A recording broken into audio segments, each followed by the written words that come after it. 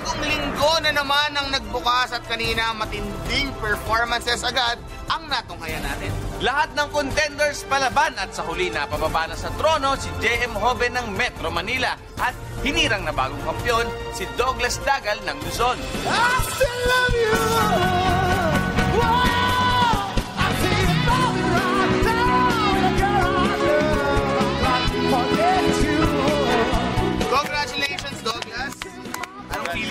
Ah, hindi ko alam, hindi ko ma-explain. Anong expectations mo ba bago ka sumali?